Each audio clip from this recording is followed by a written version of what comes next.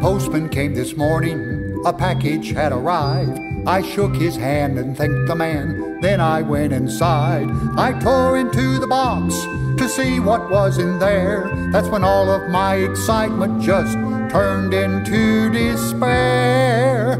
Oh, what in the world am I to do with a fruit cake? It's made of all those squishy things that I will never eat. Oh, I wish there was a special place for fruitcakes and all the ones who sent fruitcakes to me. Well, I could use it as a doorstop or a heavy paperweight, or give a bite as punishment to the dog when it is late. But that's not fair to Fido, or it might even be a sin. So I guess that I'll recycle it and send it to a friend. What in the world am I to do with a fruit cake? It's made of all those squishy things I will never eat. Oh, I wish there was a special place for fruit cakes and all the ones who sent fruit cakes to me.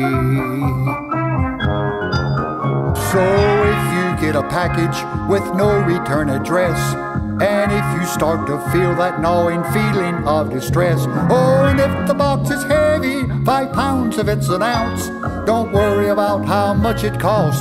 It's the thought that counts.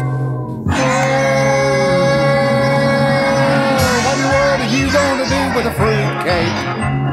It's made of all those squishy things we will never eat.